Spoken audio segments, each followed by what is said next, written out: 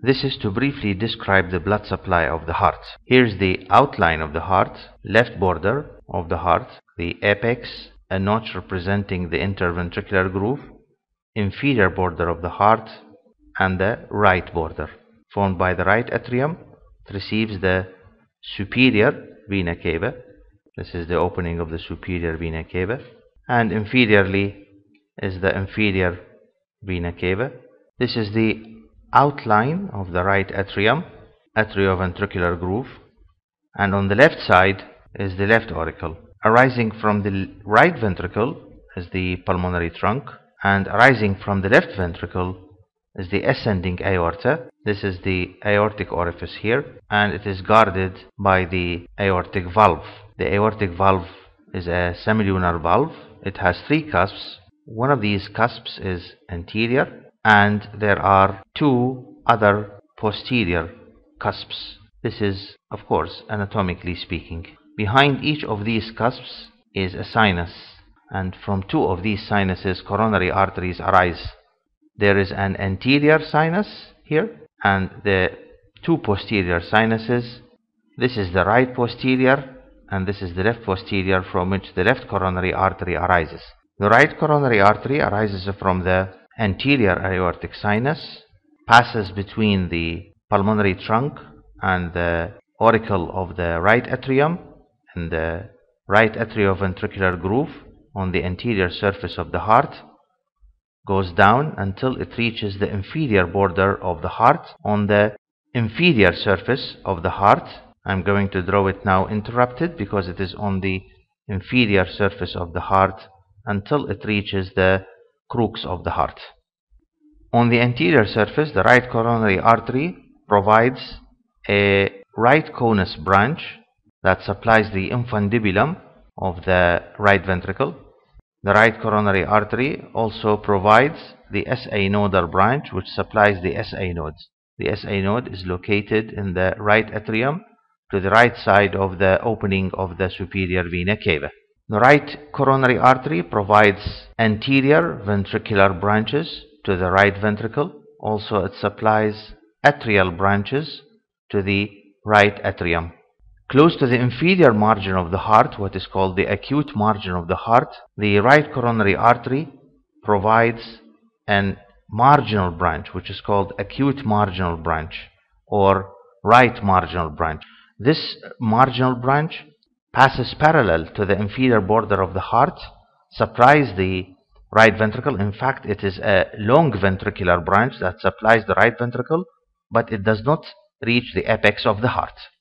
On the inferior surface of the heart, the right coronary artery provides a posterior interventricular artery that passes into the posterior interventricular groove. The remaining part of the right coronary artery continues behind the crux of the heart to anastomose with the termination of the circumflex of the left coronary artery. On the inferior surface of the heart, the right coronary artery provides ventricular branches. There are some also atrial branches and um, before reaching the crux of the heart, the right coronary artery supplies a small branch that passes into the interatrial septum and supplies the AV node. The posterior interventricular artery supplies ventricular branches to the right ventricle, small ventricular branches to the left ventricle, and also it sends septal branches to the interventricular septum. These septal branches supply the inferior third of the interventricular septum.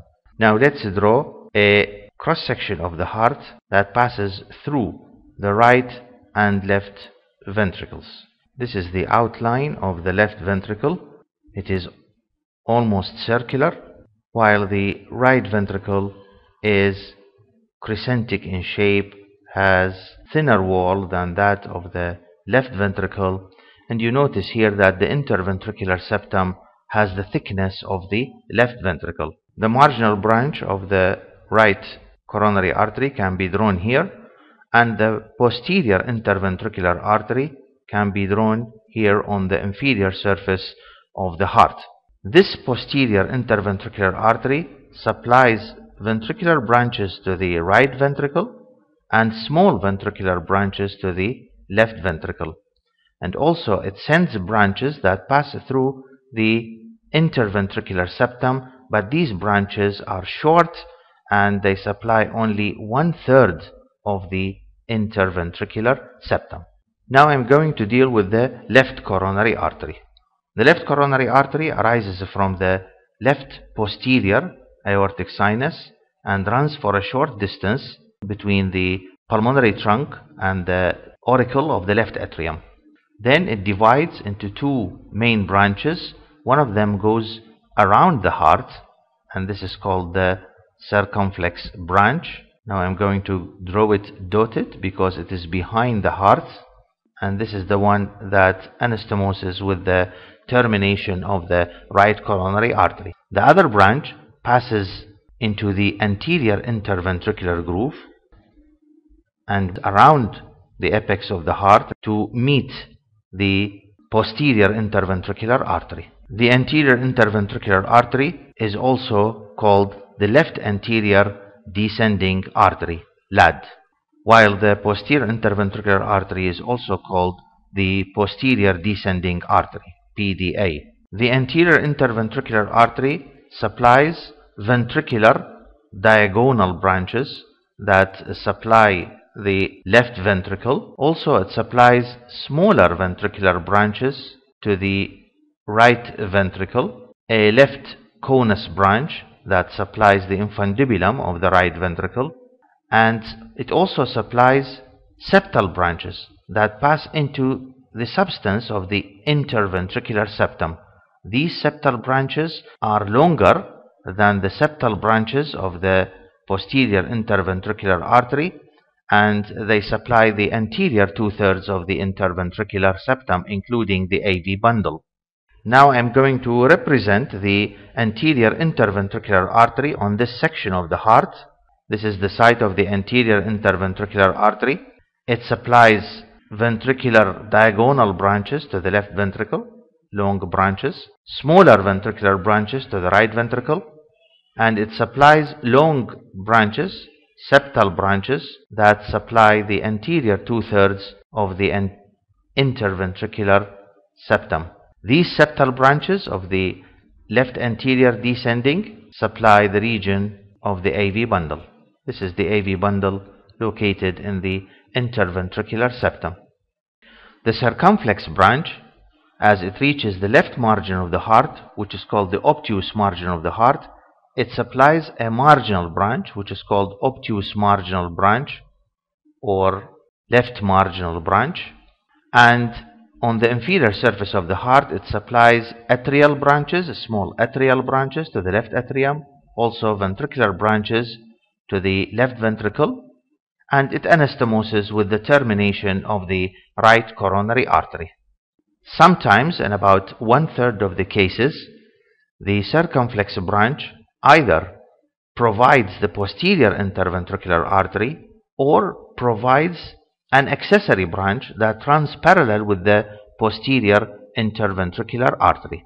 In about two-thirds of the cases, the posterior interventricular artery is a branch of the right coronary artery, and this is what is called the right dominance.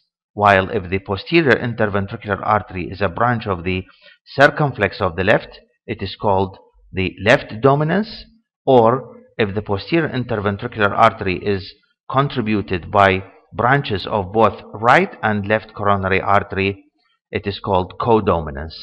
But the most common situation in about two-thirds of the cases is the right dominance in which the posterior interventricular artery is a branch of the right coronary artery. Regarding the conductive system of the heart, it has been just mentioned that the atrio ventricular bundle is supplied by the septal branches of the anterior interventricular artery. The SA node, which is located at the right side of the entrance of the superior vena cava into the right atrium, is supplied by the SA nodal branch of the right coronary artery, and this is in about 60% of the cases. The atrioventricular node, which is located in the interatrial septum, is supplied by the AV nodal branch of the right coronary artery and this is in about 80% of the cases. In about 40% of the cases, the SA node receives an SA nodal branch that is derived from the left coronary artery and in about 20% of the cases the AV node is supplied by a branch from the left coronary artery, from the circumflex of the left coronary artery. Now let's deal with the venous drainage of the heart. Again, this is an outline of the heart. This is the outline of the right atrium and the appendage of the left atrium. Almost all of the venous drainage of the heart goes into the right atrium through the coronary sinus which opens into the right atrium and its opening is guarded by a small valve, valve of the coronary sinus. The veins of the heart, in many situations, they follow the arteries, but they carry different names. In the anterior interventricular groove, there is a vein that accompanies the anterior interventricular artery, left anterior descending. This vein is called the great cardiac vein. The great cardiac vein winds around the left margin of the heart and accompanies the circumflex artery of the left coronary artery. On the posterior surface of the heart, the great cardiac vein receives a small vein from the left atrium called oblique vein of the left atrium and it is at this point that the coronary sinus is formed on the posterior surface of the heart. The coronary sinus is a wide venous sinus that opens into the right atrium. The coronary sinus drains most of the blood of the heart. So the coronary sinus is formed by the union of the great cardiac vein with the oblique vein of the left atrium. The coronary sinus drains the other veins from the heart. There is another vein that runs on the inferior surface of the heart and accompanies the posterior interventricular artery. This is called the middle cardiac vein.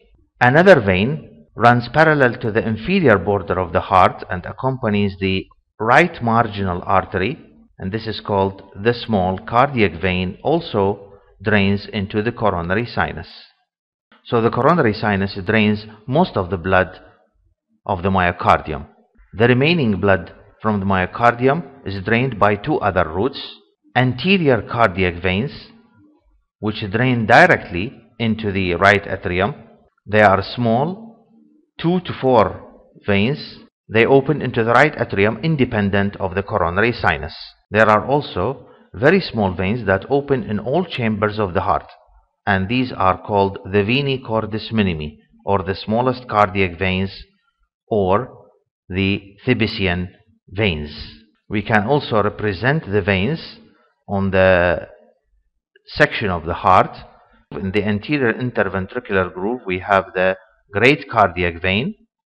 In the posterior interventricular groove is the middle cardiac vein accompanying the posterior interventricular artery, the great cardiac vein accompanying the anterior interventricular artery, and on the acute margin of the heart, we have the small cardiac vein accompanying the marginal branch of the right coronary artery.